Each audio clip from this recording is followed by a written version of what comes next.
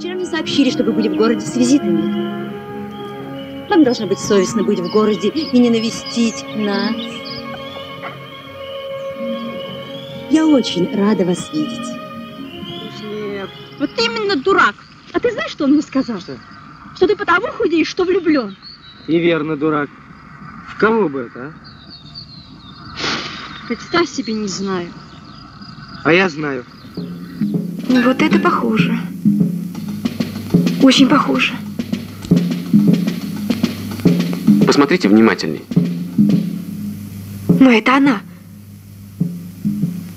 Вот видите, на ней тоже нет никакого клейма. Я ее через знакомых доставала. Вот Олежка обрадуется. А что вот Маяковский сказал? Ну что он сказал? Где, когда, какой великий выбирал путь, чтоб протоптанней и легче? Ох уж этот ваш Маяковский. Ну да, конечно. Вы все современно не признаете. Когда-то очаровательная актриса Тамара Чернова блистала в картинах «Дворянское гнездо», «Смелые люди» и «Задача» с тремя неизвестными, которые пользовались огромным успехом у зрителей.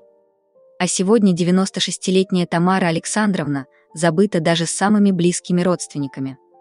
Она живет в нищете, ведь свою квартиру отдала внучке, которая вычеркнула бабушку из своей жизни.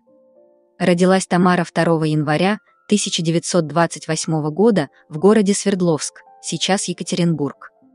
Ее отец, Александр Иванович, был партийным работником, а мать, Анастасия Ивановна, работала финансистом. В школе она хотела заниматься музыкой и училась в музыкальной школе по классу фортепиано. Великая Отечественная война наступила, когда Черновой было всего 13 лет. Она как могла помогала фронту, работала на заводе, ухаживала за ранеными в госпиталях.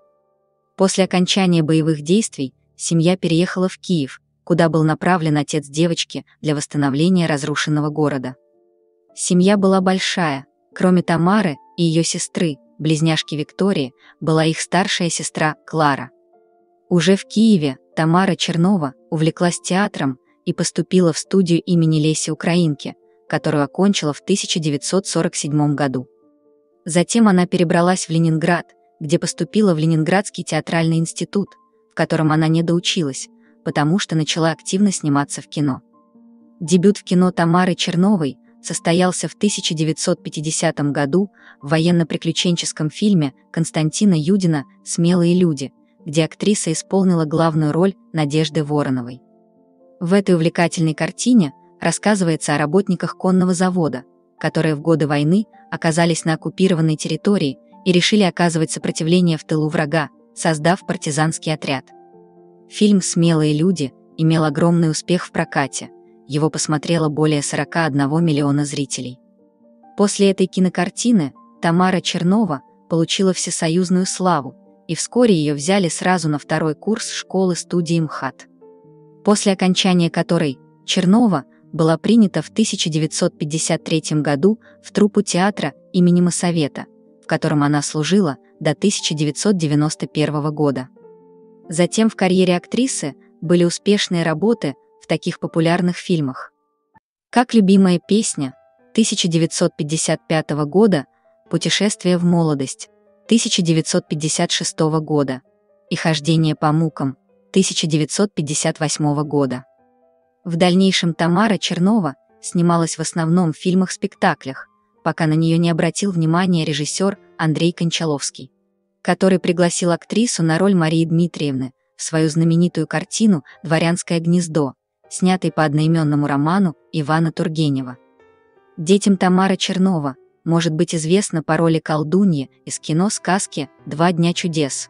После крупного успеха драмы «Дворянское гнездо» Тамара Александровна плодотворно работала в кино до 1988 года, снявшись в целом ряде популярных фильмов, среди которых стоит отметить такие картины, как «Странная миссис Сэвидж» 1975 год и «Задача с тремя неизвестными» 1979 год. Потом был еще ряд кинокартин, за которыми последовал продолжительный перерыв. Для Тамары тогда семья была на первом месте. В 1991 году у актрисы начались проблемы со здоровьем, и Тамаре Черновой пришлось покинуть театр и уйти из кинематографа.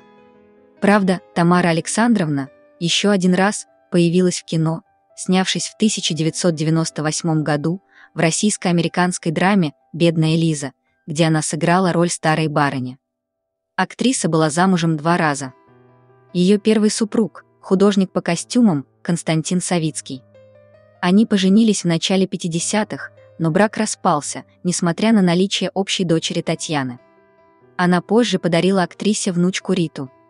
Но так как Татьяна сильно болела, воспитанием ее дочери до 12 лет занималась именно Тамара Александровна. Вторым супругом актрисы стал адвокат Борис Бруштейн. Этот брак продлился 10 лет. В 2014 году Тамара Чернова подарила свою московскую квартиру любимой внучке Рите, а сама перебралась в поселок Отрадный под Любимом Ярославской области. Сейчас внучка Рита живет на Мальте, она замужем, у нее трое детей. Рита отказывается помогать своей родной бабушке, а подаренную московскую квартиру она сдает за деньги каким-то людям. Но актрисе ничего не перепадает из доходов за аренду. Тамара Чернова призналась, что она не может самостоятельно передвигаться, ей приходится жить на маленькую пенсию и еще кормить своих кошек, которых у нее 8 штук. Правда, Чернова очень благодарна добрым соседям, которые не оставляют ее без присмотра и помогают ей выжить. Несмотря на свое бедственное положение, Тамара Чернова не хочет обращаться за помощью к дочери и внучке и говорит «Да мне хорошо, не надо мне помогать, не надо мне ничего». Как удалось выяснить, дочь Черновой живет в нескольких километрах от своей матери, однако навещает ее крайне редко. Мы разных сословий, понимаете. Я княжеского рода, а мама – мещанское сословие. Это абсолютно разная психология, заявляет дочь известной актрисы. На свою маленькую пенсию Тамара Чернова арендует полуразрушенную квартиру в поселке Отрадный под Любимом, который находится недалеко от Ярославля. Вот что актриса рассказала журналистам. Здесь ничего не было, не было даже горячей воды. В холода могут перестать топить. Надо мыться, а я боюсь. Мне нужен человек. Я боюсь залезть в ванну и упасть. Обои на булавках, на иголках, падают. Наверху все отлетает. Но что сделаешь? Дверь совершенно пустая. Готовлю, запах, соседи бегут. Не горит ли у вас что-нибудь? Пользуюсь электроплиткой. А в кухню не хожу, там газ. Я боюсь, что могу забыть, и случится что-нибудь нехорошее. Съемочная группа программы, пусть говорят, приехала в гости к актрисе, когда узнала о ее бедственном положении. Но найти актрису удалось не сразу. В поселке Отрадный под Любимом нет улиц. Двухэтажки перемежаются избами, из торговли – пара ларечков. Найти дом заслуженной артистки РСФСР здесь – дело непростое. Ни огромных заборов, ни почищенной дороги, ведущей к нужному подъезду. Только пообщавшись с местными жителями, им удалось найти дом, в котором живет Тамара.